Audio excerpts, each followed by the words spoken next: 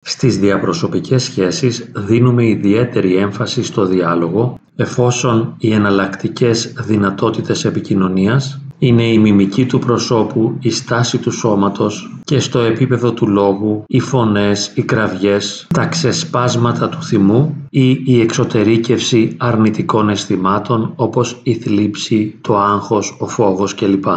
Θα συμφωνήσουμε λοιπόν όλοι πως η καλύτερη μέθοδος επικοινωνίας είναι ο διάλογος. Λαμβάνοντας όμως υπόψη μας και υπογραμμίζοντας στη συγκεκριμένη ηχογράφηση ότι ο διάλογος τις περισσότερες φορές είναι μια άνηση και άδικη μέθοδος επικοινωνίας. Χωρίς αυτό βέβαια να σημαίνει ότι οι εκρήξεις θυμού ή οι συναισθηματικοί εκβιασμοί είναι καλύτερες μέθοδοι επικοινωνίας. Σίγουρα δεν συμβαίνει κάτι τέτοιο, ο διάλογος είναι ένα πολύτιμο εργαλείο, αλλά όπως προαναφέραμε είναι ένα μέσον που επιτρέπει την ανισότητα και την αδικία επειδή σπάνια οι άνθρωποι οι οποίοι εμπλέκονται στο διάλογο έχουν τις ίδιες δυνατότητες να υποστηρίξουν την άποψή τους γεγονός που σημαίνει ότι αρκετές φορές αυτός που επιδιώκει τον διάλογο προγνωρίζει ότι έχει τη δυνατότητα να δικαιωθεί και να πείσει τον άλλον ότι οι δικές του απόψεις είναι οι σωστές και του άλλου είναι λανθασμένες. Επειδή λοιπόν δεν έχουμε όλοι τις ίδιες δυνατότητες ορθολογικής επιχειρηματολογίας και κατά συνέπεια δεν έχουμε τις ίδιες δυνατότητες να υποστηρίξουμε τις απόψεις μας ώστε να δικαιωθούμε, είναι πολύ πιθανόν αυτός ο οποίος επιμένει στο διάλογο και λέει για παράδειγμα σε μια συντροφική ή ερωτική ή συζυγική σχέση κάτσε να το συζητήσουμε, θέλω να μου εξηγήσεις και να σου εξηγήσω, θέλω να συζητήσουμε για να ξεκαθαρίσουμε τα πράγματα και να βρούμε μία άκρη, αρκετά συχνά είναι αυτός ο οποίος έχει περισσότερες δυνατότητες να επιχειρηματολογήσει ορθολογικά και προγνωρίζει ότι κατά κάποιον τρόπο θα νικήσει τον άλλον, θα δικαιωθεί και θα αποδείξει ότι ο άλλος κάνει λάθος ή αυτό που πιστεύει δεν είναι σωστό. Στην περίπτωση αυτή θα ήταν πιο έντιμο αν αυτός ο οποίος επιμένει στο διάλογο επειδή είναι πιο ισχυρός στα επιχειρήματα, αντί να συζητά έδερνε τον άλλον. Διότι εφόσον προγνωρίζεις ότι με τα επιχειρήματα που θα αναπτύξεις θα καθυλώσεις τον άλλον και θα δικαιωθείς, αυτό που στην πραγματικότητα θέλεις να κάνεις δεν είναι ο διάλογος, αλλά θέλεις να δικαιωθείς και να εξουθενώσεις τον άλλον. Οπότε θα ήταν πιο τίμιο εάν ούρλιαζες, εάν φώναζες, εάν τον χτυπούσες, εάν έσπαγες πράγματα, διότι τότε τα κίνητρά σου θα ήταν πιο σαφή και δεν θα κρυβώσουν πίσω από το σχήμα του διαλόγου εφόσον στην πραγματικότητα δεν θέλεις να συζητήσεις αλλά θέλεις να ικανοποιήσεις την ανάγκη σου να δικαιωθείς αποδεικνύοντας ότι ο άλλος κάνει λάθος. Σε αρκετές μάλιστα περιπτώσεις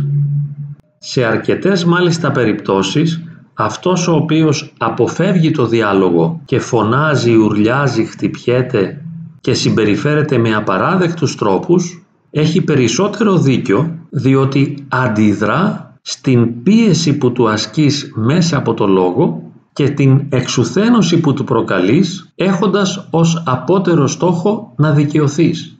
Τουλάχιστον και αυτός είναι πιο ειλικρινής, είναι πιο αυθεντικός διότι ακόμη και με τις φωνές, τα ουρλιαχτά, τις κραυγές ή τα σπασίματα συνειδητοποιεί στο βάθος του μυαλού του ότι αυτό που κάνει είναι απαράδεκτο και δεν δικαιώνεται όπως εσύ που κρύβεσαι πίσω από το πέπλο του διαλόγου και θέλεις καβάλα στις δυνατές σου επιχειρηματολογίες να συντρίψεις και να στραπατσάρεις τον άλλον. Εφόσον λοιπόν συμφωνήσουμε ότι σε αρκετές περιπτώσεις ο διάλογος είναι ένα μέσον που αδικεί και εξουθενώνει τον άλλον,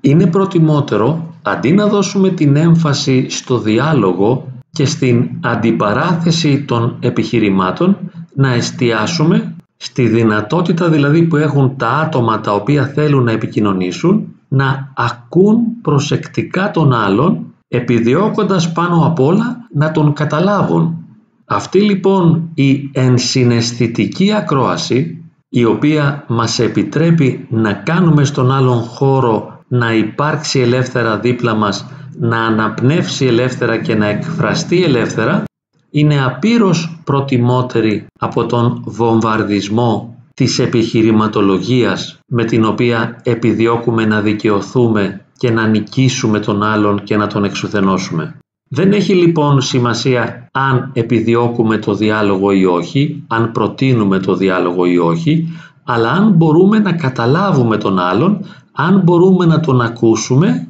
και αν μπορούμε να τον αναπαύσουμε, αν μπορούμε να τον βοηθήσουμε μέσα από το διάλογο, μέσα από την επικοινωνία να νιώσει καλύτερα. Εάν συζητώντας δεν αναπαύουμε τον άλλον, αυτό που κάνουμε δεν είναι δημιουργικός διάλογος, αλλά ύποπτη τακτική καταστρατήγησης της εσωτερικής ισορροπίας του άλλου. Ας προσέξουμε λοιπόν και ας εστιάσουμε στα βαθύτερα κίνητρα τα οποία μας οδηγούν στο διάλογο, ώστε να μην δικαιωνόμαστε επιβραβεύοντας τον εαυτό μας για την καλή πρόθεση που έχουμε να συζητήσουμε αυτό που μας απασχολεί με τον άλλον,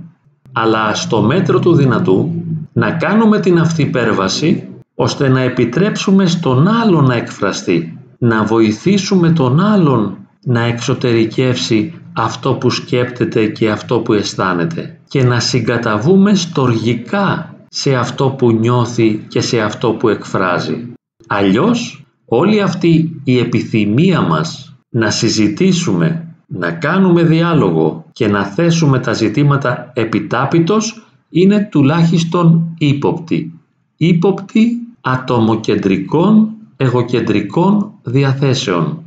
Εάν λοιπόν συζητώντας ο συνομιλητής μας δεν αναπαύεται, η συζήτηση δεν έχει κανένα νόημα. Και εάν για παράδειγμα η συζήτηση αφορά σε μια συζυγική σχέση, είναι προτιμότερο να εγκαταλείψουμε τα προβλήματα επιτάπητος και να τα θέσουμε επιστρώματος. Να κάνουμε δηλαδή το πέρασμα από το λόγο στην αγκαλιά.